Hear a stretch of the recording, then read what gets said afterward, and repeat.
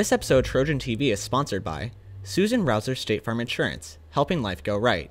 Cherryland Autoglass, Northern Michigan's auto glass professionals. Cool Doors, Whitewater Contracting, the science specialists, and Tandem Wealth Management, moving forward together. We're here with Lillian Taylor. So, Lillian Taylor, what were your views on 2020? Personally, I thought 2020 was an okay year. It definitely could have been better, but it also could have been worse.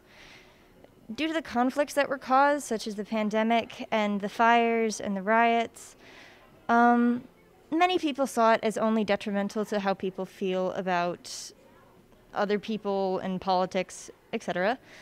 But there were also things that I enjoyed. Like there was some music that was um, released, and there were also some shows. I'm here with Sophie. So, Sophie, what are your views on 2020? Um, well, 2020 was really rough with um, COVID because I couldn't see any friends, and that was like really rough because being home for like six months is really rough, especially when you're like it's summer, and it's just really hard to do that. I'm here with Addison. So, Addison, what were your views on 2020? Well, it started off like pretty rough, and um, I think people could have like kind of tried a bit more, um, because a lot of people didn't take like all this stuff seriously, but there still were like some positive like messages, and yeah.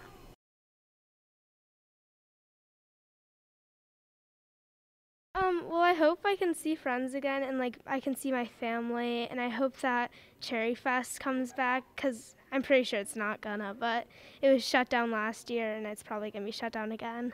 So, what are you hopeful for in the year 2021? I hope 2021 goes better. I mean, it might not have been the worst year, 2020, but it also really wasn't the best. So I hope people learn to grow and reflect on what we can accomplish, such as um, we moved past a pandemic and we went through online school and we can do it again and we can grow from our mistakes and learn. So, what are you hopeful in the year 2021?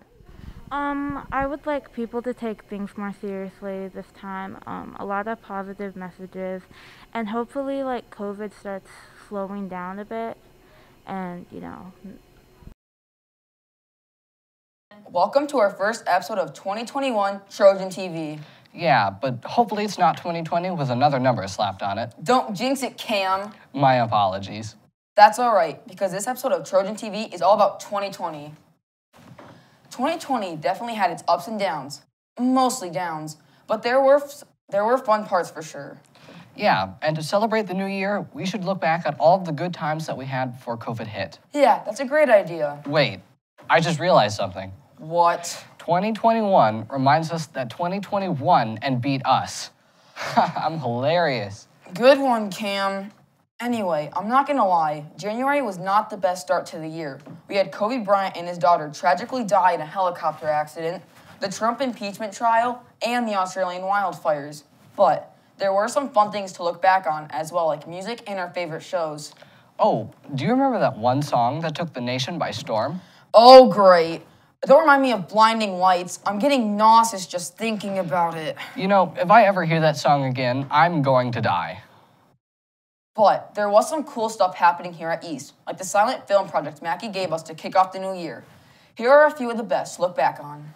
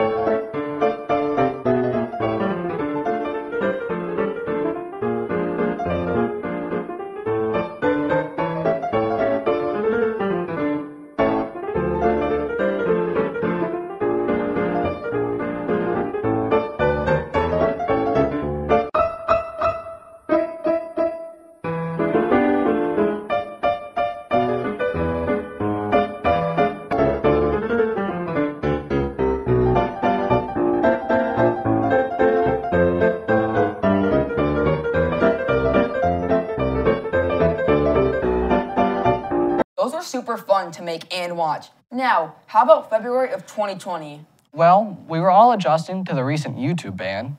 We learned that Miss, Mrs. Unger makes killer chocolate chip cookies, and students were preparing to travel to Japan, which was the first time East was really discussing COVID. And unfortunately, that trip was canceled. What a bummer. But most were still pretty unaware of COVID 19, and things were relatively normal around the halls of East. Until Valentine's Day, that is. Ugh, Valentine's Day. No offense, but that's not my favorite holiday, and it's kind of a sore topic. I know, I hate it too. But luckily, ended up being pretty cool with this funny cooking video created by Ryan and TJ last year that helped me make it through the holiday just fine. Hi, my name is TJ Foley. And I'm Ryan Grubbs. And today we're gonna show you how to woo your boo. With some sweet, sweet Valentine's Day snickerdoodle cookies. So first, you want to preheat the oven to 400 degrees. Yeah. So what you're gonna need is flour, sugar, baking soda, cream of tartar, salt, butter, eggs, ground cinnamon, vanilla extract, sprinkles, and a variety of measuring cups. Now for the dry ingredients. Two and three fourths cups of flour.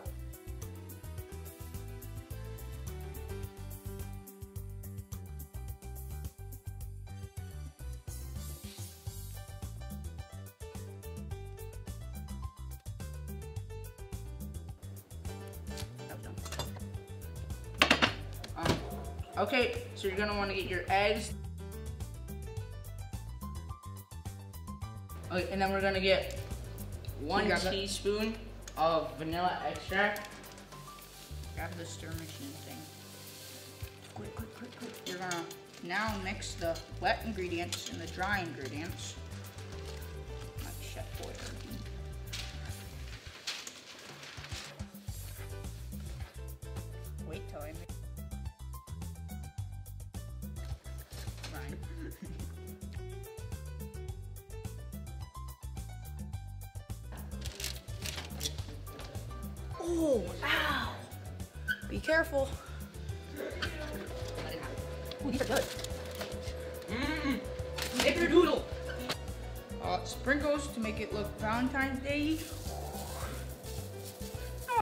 This has been Ryan and TJ baking for Trojan TV. That was pretty funny, and March started off, started off with a bang too.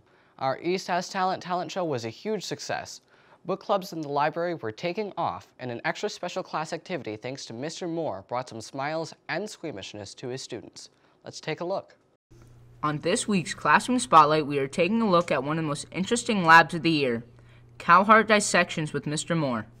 We had the opportunity um, from Max Bauer's uh, meat company. They donated the hearts, and I had a uh, uh, a parent who's a doctor come in and help facilitate uh, the function of a heart. It was interesting. The heart was previously like cut open, so like you had to flip it over and then find all like the key components of the heart and then uh, write them down. Since there's a group of four, you kind of had to like. It was fun because you got to work with the other people. Well, there's several benefits that I think are super important. Uh, first of all, they get to see the real heart, you know, and firsthand approach to seeing how it works. And having a doctor come in, and actually, uh, uh, there was another individual who's a medical school, um, a third year medical school, school student from Michigan State who came in and facilitated it as well. Um, but they got to see the real thing. Um, and uh, the feel and touch it, but not only that, but we were involving the community. Some students were eager for the hands on learning, while others were a bit squeamish at the thought of having to touch a real heart. It was like, like it was just gross. It was a first time thing. I was like super shocked with everything. I didn't know what was kind of going on. It was like kind of weird, but it was kind of fun at the same time. The heart itself kind of smelled bad, but like the actual experience outweighed that, and it was interesting. This has been Ryan and TJ reporting for Trojan TV. Yikes, that was both cool and scary. Agreed, but not as scary as what happened on March 13th. COVID 19 forced the closing of our schools for what we all thought would be a couple of weeks off of school. It was shocking for sure, but at first it kind of seemed like a fun, extended vacation, and we were all ready for early spring break.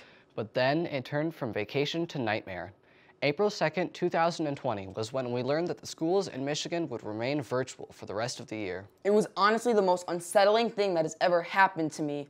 What a strange time to look back upon. No toilet paper, No cleaning supplies, empty streets, no sports. Like, seriously, I hated that. concerts were canceled, everything was in shambles. No friends, sitting lonely in my room. Imagine having friends. Uh, uh, okay. And adding on to it, lots of people had online struggles. I know I did. I know, right? I helped some of my teachers with theirs. It was a true test of our ability to rise to new challenges. Agreed. And a huge challenge for the DMC was how to stay connected to the student body during the stay at home order. And that was the creation of our Trojan TV Quick Takes. It was pretty impressive. The DMC staff created daily newscasts for the staff and students of East, all from home. Let's take a look at a few. Hi, it's McKeely with Trojan TV, where we are committed to covering different topics about the coronavirus. Today, we are going to take a look at some breaking news. Announced yesterday by Governor Whitmer, all schools will be closed until next school year. Well, at this juncture, we think we're probably a good month out from the apex of COVID-19, and this disease is spreading very fast here in Michigan. We still don't have enough tests to really have uh, confidence in, that we know precisely how many people are carrying COVID-19. What does this mean? Lots of things are being put into place. All standardized testing is canceled. Standardized testing and like MSTEP and SAT will be canceled. There will be a date in October for rising high school seniors to take that test. And the executive order hinted at a possible early start to the school year next year. So school could possibly start before Labor Day. She says that school districts will have the flexibility to adopt a balanced calendar for the 2019-2020 school year. School workers will still be paid and we will start online school sometime soon. TCAPS communicated that their online learning plan should be ready and approved no later than April 28th. I don't know about you, but I'm excited to get back on track with my schoolwork. I miss seeing everyone, and I hope everyone is staying safe. You can share any thoughts or moments you have by DMing at ECMC or emailing Miss Mackey. See you next week with more quick take coverage. Hey, it's Bella with Trojan TV, where we are transitioning to covering the things important to East and its students, including the coronavirus. So today we're talking about puppies. A lot of people recently adopted new pets, and if you think about it, this is sort of the prime time to get a new furry friend. You have plenty of time at home to train it, spend time with it, and it will definitely keep you occupied. Eighth grade science teacher Mrs. Conrad recently got a new puppy, so I talked with her to see how it was going. So, hey, I'm Bella and I'm here with Mrs. Conrad. So, how are you doing? What have you been up to? I'm doing pretty good. Um, well, we got a new puppy here. This is Piper. Um, we've had her for two weeks now. Um, so the kids have been having a lot of fun with her, and I bet. Took her on a long walk, so she's kind of tired right now. what, kind, what breed is she? She's a mini golden doodle. Aw, I love golden doodles. Yeah, she's super soft. She's a little fuzzball. so, what made you decide to get her? Um, well, our kids have been begging for a dog for a long time. Um, our daughter, especially, we figured it's been about six years she's been asking. And um, my husband said, you know, if, if we want to get a dog, this might be a good time to do it. We're going to be home and we can train one. So we just kind of did some research on different things and we found this one. Um, she was down in Fort Wayne, Indiana, so it was a little bit of a haul to go get her. Well, that's cool. So I actually know a handful of people that have recently gotten a puppy. Oh, My yeah. uncle just got a puppy and they named him Tucker Coben. Oh. very, very festive. Uh-huh. So with all the people that have been getting new dogs, we kind of started thinking that it was the COVID cure, if you will. So Uh-huh. how do you feel like getting a puppy has kind of helped you and your family get through this hard time? Um, I think she's definitely been kind of like our bright spot in the day. You know, it kind of gives us like a reason to get up in the morning and just something else to focus on that's um, something more positive. Um, and it's definitely kept everybody occupied with taking her out every hour to go to the bathroom and giving her food and playing with her and taking her on walks. Um, so, yeah, it's just been a really nice distraction to all the the news that's going on. For sure. So, is there anything that you kind of recommend to students or anything that you would want to say to kind of help them get through this? Um, I think just, you know, try to find things that you're interested in and just change it up a lot. Um, like yesterday, my daughter and I decided to do like a directed drawing, like on YouTube, and we end up spending like an hour and a half on that. Actually, I think I have it right here. I can show you. It turned out really cool. But just something I wouldn't normally do. But oh wow! And that was really fun. So you know, we've done puzzles and we um, we made bagels one day. Another thing I've never done. So just try to look for you know if you feel like you're getting in a rut, um, just kind of seek out new opportunities, things to do, and and stay connected. Um, you know, I've been keeping in touch with people on social media and texting and calling, and that helps a lot too. And getting outside, we've been doing a lot of hiking and biking, and I think just um, not focusing too much on the bad, but try to look for the good things in your life and um, keep yourself occupied. Thank you so much. She's so cute. You're welcome. Thank you. I miss everybody. I'm really sad that I won't be able to say goodbye to all of you eighth graders in person. Oh, yeah. Oh, hi. hi. Here's Reed. Aw. Well, thank you so much again. You're welcome. Bye, Bella. Thank you, Mrs. Conrad and little Piper. She's so cute. And in our student spotlight, the Tabasco family just adopted a puppy too. Her name is Kona, super cute. It seems like getting a puppy is the perfect thing to cure your coronavirus blues. And that concludes today's quick take from Trojan TV. Stay safe and share your time on our COVID 19 with us through Instagram DM or email to Mrs. Mackey. Have an amazing day. We had so many of those quick takes. We should give a round of applause to the anchors and production team who created 26 quick take episodes last year. Now, during quarantine, we had to find creative and traditional ways to pass the time. Remember the Tiger King? YouTube videos about the pandemic and trying to learn new hobbies? Yeah, how about crazy workouts, baking and cooking, too much eating and sleeping, staying up all night? Did your family break out the puzzles, te teach you euchre, or insist on family game nights? Yeah, it sounded bad at first, but it really did help. Hey, I actually tried to learn a card trick to confuse my family. Want to see it? Sure. Okay, so I'm, I put down 26 cards face up in a pile like this. 1, 2, 3, 4, 5, 6, 7, 8, 9, 10, 11, 12, 13, 14, 15, 16, 17, 18, 19, 20, 21, 22, 23, 24, 25, 26. Okay, so I put them back I make them all, and I put them back. So go one, two, three, put two cards there. That doesn't need to put any, seven cards here. So two, three, four, five, six, seven. 3 plus 10 plus 8 equals 21. The 21st card will be the four diamonds.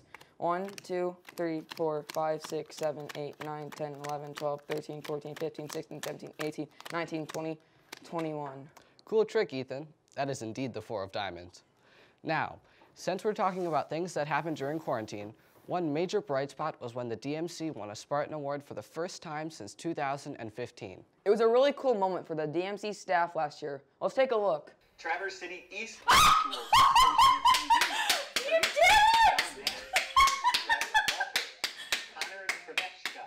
You guys, you did it! Get your faces turned on right now, all of you. Oh my god. Very cool. I'm hoping that we can do it again this spring. Yeah, me too. Well, the school year came to a close in a mostly boring fashion, with online classes dwindling in numbers of students each day, and everyone was weary from the stress of the pandemic and the transition to online learning. We were ready for a break. But our eighth graders really needed a pickup. They were not getting to have the traditional farewell activities and rituals. It was a sad time for sure. Fortunately, the EMS staff rallied and organized a drive-by farewell for all eighth graders, and it was a great success. The DMC was there to capture some of the highlights. Let's take a look back.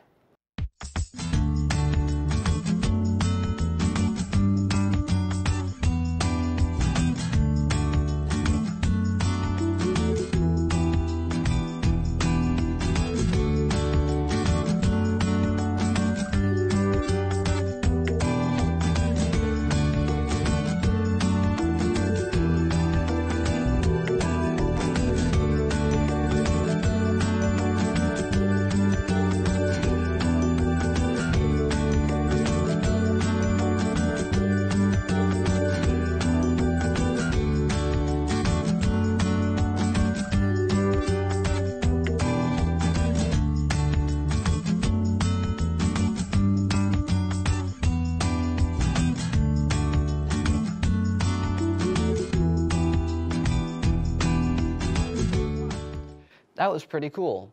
I hope that we don't have to do it that way this year, but I'm glad we have it as an option, because it still looked pretty fun.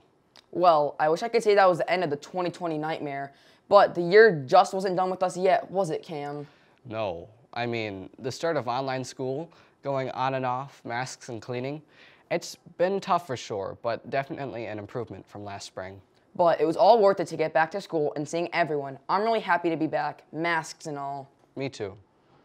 You know what? After everything we went through in 2020, I'm still thankful for everything it taught me along the way. What about you, Cam? Any final thoughts on 2020 before we leave it far behind? Yes, I am the ruler of Friday Frenzies, and it was my favorite edition of 2020.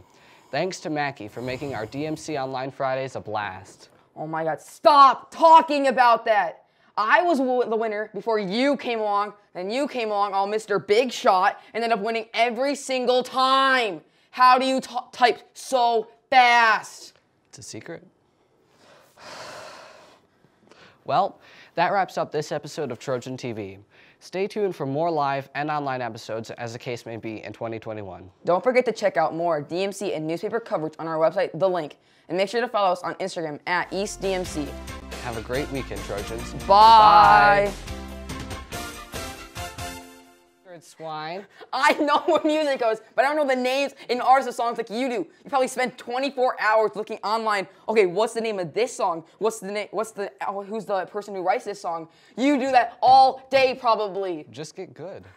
I don't want to look that up in my free time. I actually have a life outside of school. Imagine having a life. well, yeah.